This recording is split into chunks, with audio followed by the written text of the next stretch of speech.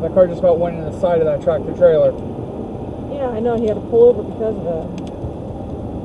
Shit, shit, shit, shit, shit. You fucker. Uh,